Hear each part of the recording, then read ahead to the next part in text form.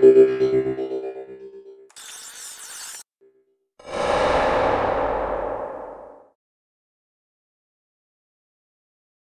broadcast is brought to you by VelocityMicro.com. What's up, nerds? Today is a special day. It's the sixth PolygonRevue.com StarCraft 2 broadcast, and we got a very special guest all the way from South Korea. And it's also special because here in Sweden it's Midsummer's Eve. That won't mean shit to most of you, but here in Sweden it means, among other things, that there's a compelling social pressure to eat pickled herring and drink weirdly flavored vodka. Myself, I won't do that. I will eat some very interesting salad, probably, and drink perfectly flavored mojitos of my own making. Because that's just the kind of multi-layered nerd that I am. But I digress. Before we kick off today's broadcast, I'd like to thank all of you for the very positive and constructive feedback that you offered uh, in regards to the last broadcast, the interview I made with uh, Matthew Peterson of IRIP, who had very many interesting points, and it was a very interesting conversation, if I may say so, but the audio was less than perfect, and for that I take full responsibility. However, so many of you expressed a lot of understanding and eagerness to hear what was being said, and so I'm very appreciative of that. I produced a written transcript of the interview uh, over at polygonrevue.com. You can go there and check it out because there's a lot of really good food for thought there. And I will be bringing up some of Matthew's point in this interview today with Dan Artosis Stemkoski. So you might want to check it out.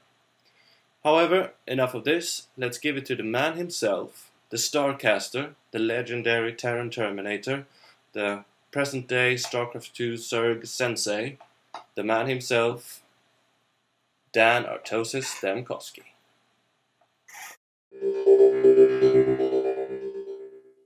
Hello and welcome everybody to this fifth StarCraft 2 broadcast with me, Sebastian Sjöberg of PolygonRevue.com. Today we've got a special guest all the way from South Korea. Hello Dan, better known as Artosis. How are we doing today? Hey man, I'm having a, a very busy day to say the least. Just got done some state of the game and some other stuff, and uh, but you know I'm having a good little beta break here. I have to say. Yeah, the the, the break might be a good thing. Uh, enable people to get things in order and do some exciting stuff for the future. Uh, we're going to talk a bit more about that, and I know you're busy because um, of many, many things happening, not all esports related, I'm sad. Uh, but um, let's talk a little bit about the fact that you've been living in uh, self chosen exile in South Korea for quite a while now, and you seem to be doing fine. How's life, and wh- what do you do on a typical Artosis day? well, uh, life is great. I love it out here. Uh, every morning I wake up, uh, maybe seven thirty to eight in the morning. Uh, I just basically get ready, eat breakfast. Uh, then I travel in. I live about forty-five minutes from where I work now. I just recently moved, um, and you know, I just I go into the office for IEG International Esports Group. Uh, I edit videos in the morning. Some I check all the news that I missed for the day, talk on MSN to people, figure out what's going on, what's coming up, uh, brainstorm ideas with Juani on what sort of content I can go ahead and produce. Uh, if there's other esports stuff that we're doing at the time, I'll work on that. Around noontime, of course, I go grab some food, and normally by then I've I'm leaving to go uh, make some videos somewhere or uh, meet with people for various reasons, to set up future videos. Um, and then I normally, if you know StarCraft Two is around, I'll go play StarCraft Two afterwards immediately uh, until I basically am too tired to be awake.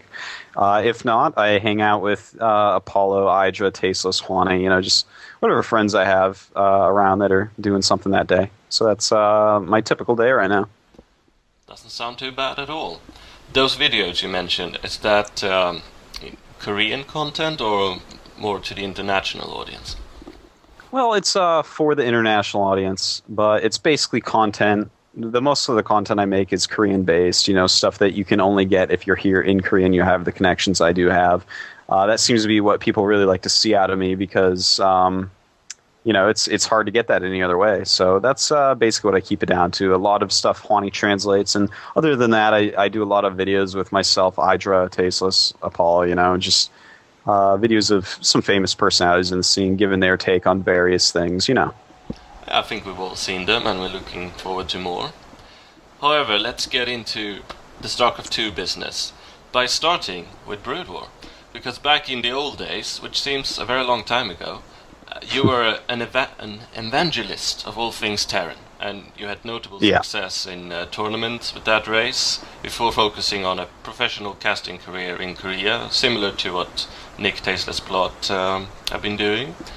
Uh, but now, in StarCraft 2, you're a dedicated Zerg player, and um, especially according to uh, Day 9 in his recent three uh, dailies, I believe, uh, want to Yeah. be feared and emulated.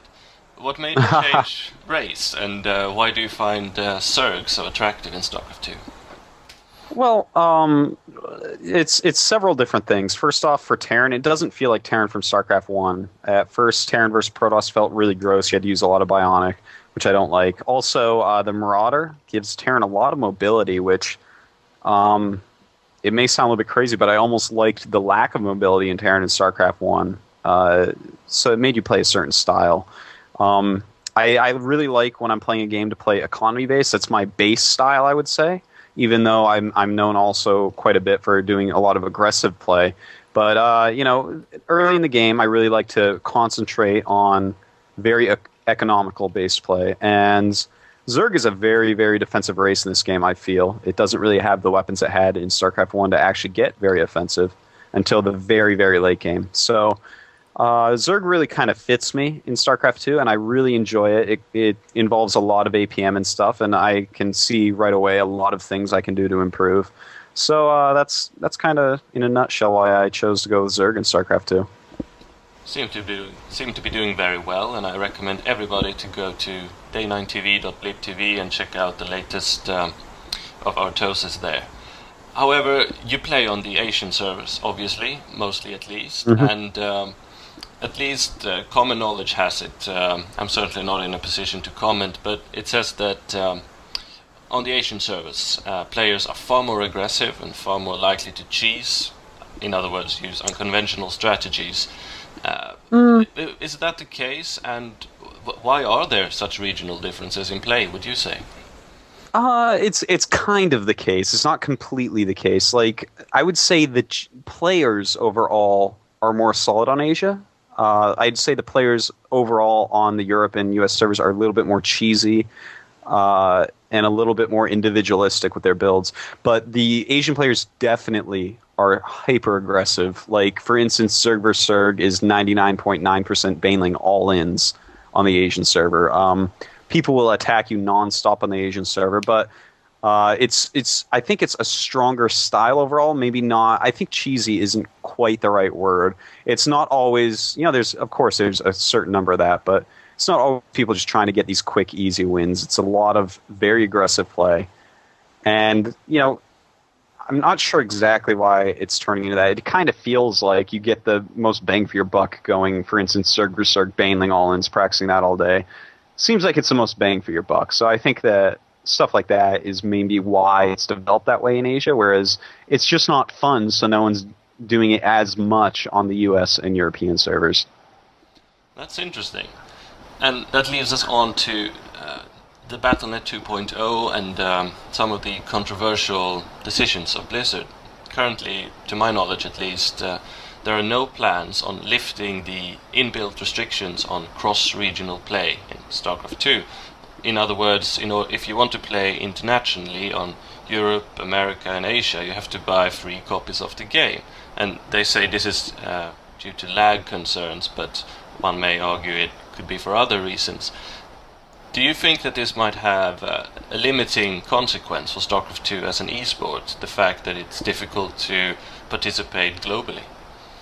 Yeah, it, you know, I think it definitely could. The fact that uh, you could play with pretty much anyone in the world that has a good internet connection with no lag on StarCraft One is a big reason why it was so great as an esport. Uh, you could practice with anyone, anywhere, have international tournaments very easily. Um, StarCraft Two, they've mentioned they're they're going to look into possibly later on making it so you can switch servers. But at first, at least, we definitely won't have that. And yeah, I think it can't do anything but hurt the scenes. I mean, everyone's gonna develop kind of in their own scene, and it's really hard to go to another server. Even if you buy the copy, you might lag over there, so it's like a risk of fifty dollars or however much that copy is. And uh, yeah, I don't know. It's I, I don't like it that it's going to happen, but I mean that's the way it's going to be. So we're going to have to figure out how to fix that. You know, can people make launchers like they did for iCCup? Who knows? I, I certainly hope so, so that we can you know reunite all the players.